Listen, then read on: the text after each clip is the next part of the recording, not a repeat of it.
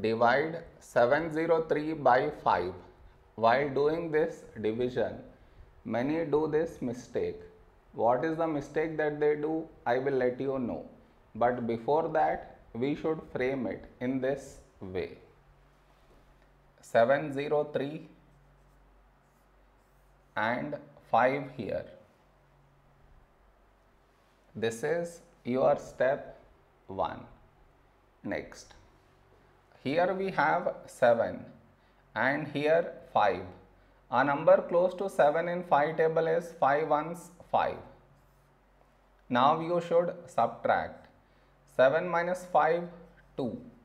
After this bring down the beside number. So 0 down. Now 20. When do we get 20 in 5 table? 5 fours 20. Now you should subtract 20 minus 20 0. After this bring down the beside number. So 3 down. After this step the mistake happens and the mistake is this.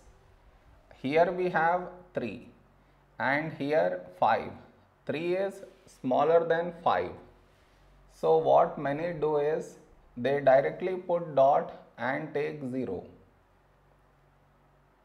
which is wrong.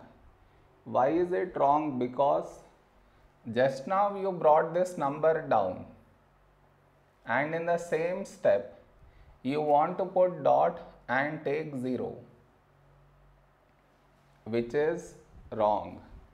I repeat bringing the number down and also put dot and take 0 bring the number down and put dot and take 0 both at the same step. You are not supposed to do. Instead what you should think of doing is what number should we write here?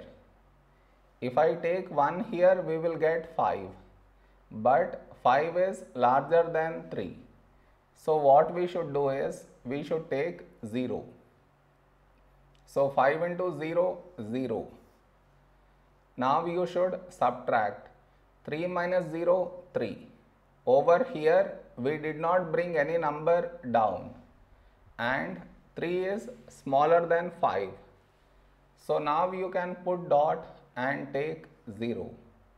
So 30. When do we get 30 in 5 table? 5, 6, 30. Now you should subtract 30 minus 30, 0.